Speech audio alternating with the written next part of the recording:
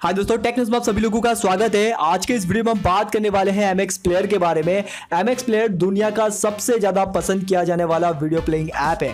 आपने कभी ना कभी तो एमएक्स प्लेयर को यूज़ किया ही होगा। बट आपको जानकर थोड़ी सी हैरानी होगी, अब आपका एमएक्स प्लेयर बिक चुका है। जी हाँ दोस्तों टाइम्स इंटरनेट ने इसे खरीद लिया है।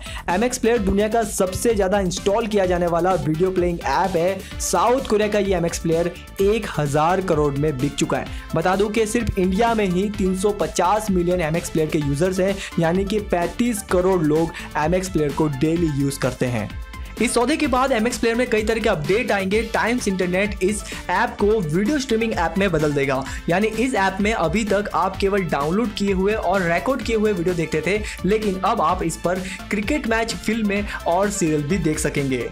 वैसे अभी तक एम प्लेयर का मुकाबला सिर्फ़ और सिर्फ़ बी प्लेयर के साथ था बट अब इसकी टक्कर Netflix Amazon Prime Video Hotstar और वुड जैसी ऐप के साथ होगी। हालाँकि अभी ये साफ़ नहीं हुआ कि वीडियो कंटेंट के लिए एम प्लेयर में कुछ पैसे देने होंगे या नहीं देने होंगे। सीधी बात है, साल 2012 से गूगल प्ले स्टोर पर एम प्लेयर लगातार टॉप 10 की लिस्ट में रहा। अब ये एंड्रॉयड के अलावा आईओएस और वेब के लिए भी अवेलेबल हो जाएगा।